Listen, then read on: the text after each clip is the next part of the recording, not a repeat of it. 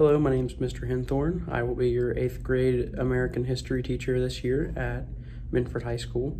Uh, I graduated from Minford High School actually myself. I went to Scioto County Career Technical Center, which is where I actually picked up a degree in uh, automotive technology.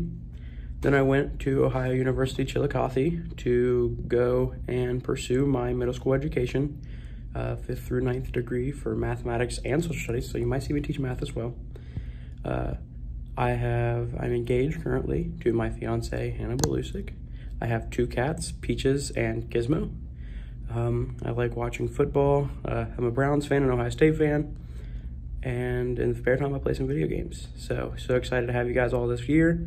Hope to see you guys and everybody have a great day. I will see you here soon.